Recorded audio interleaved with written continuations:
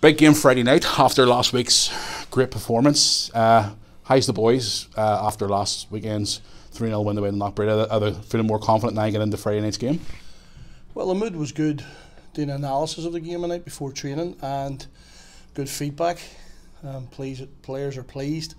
Some good performances and the collective performance, in fairness, from the 11 mm. and even the guys coming on, such as Spike, with the goal that he's got you know, there was a really good contribution from the from the whole group on Saturday, so it's what, what we deserved. There's a lot of confidence in the squad tonight getting into Friday then. Well, they trained really well, but they've been training well anyway. It's just there, there was definitely an extra age and step tonight. Mm. Um, there's a more of a more of a rhythm, particularly in the game at the end. You know, people are running around making good efforts and you know, they're really showing what they can do. So really pleased with what the players are bringing. It was obviously a great performance on Saturday night. Ballyclare, they, they're obviously going to be coming into the game Friday with their tails up. They got a great result. at home to Duns on Saturday uh, 5 2 at home, and then they're obviously going to come here and try and make it difficult. They have done the last two times they've been here at Blanchflower, but again, it's another test for the boys. Would you agree with that? 100%. There's no easy games in the Championship, and obviously Ballyclare, they scored five in the second half against Dundela, who've been going really well, really well organised defensively, hard working team. As testimony to them, so we're going to have to be at our very best to get something from the game. But as I says, you know, hopefully with Saturday, with what we're doing, with the effort and energy and the experience. Um, and there is goals in this team mm-hmm. that we can, can can carry on where we left off. Yeah. Um, I want to briefly touch on the news that broke yesterday. Young Carl McCombs left the club. Uh, bit of unfortunate. I think he played for 20 turn Saturday. Do you want to make a wee comment about Carl leaving the club? Is there any news about it at all, or what came about it? I think we released the news yesterday.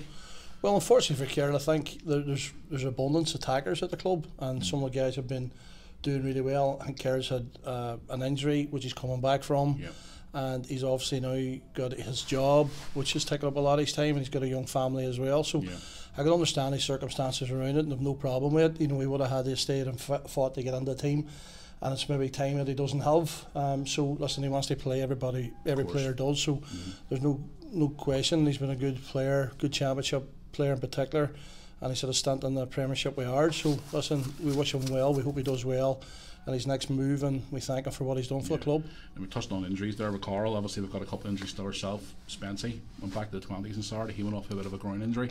Davy Graham's also out at the minute. Any updates on those boys at all with being injured? Well, Spencer probably out for a couple of weeks now. He's groin. He tweaked it a bit, but unfortunately, we know talking to Johnny the physio that he hasn't had a real big full season. So, or sorry, pre-season. So mm. it's going to be difficult from this season. So it's just a case of doing patch up and hopefully he can contribute to what we're doing because um, he's an experienced player.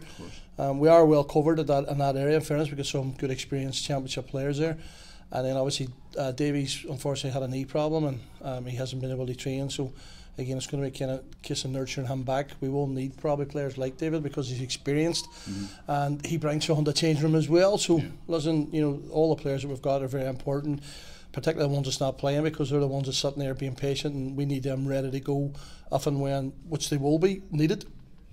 Well, good luck for Friday anyway, and hopefully we can continue on the form that we had on Saturday because we did play very well on Saturday. Really, we kept the ball down, played very, very good football, and hopefully we can continue on with Friday night with another result.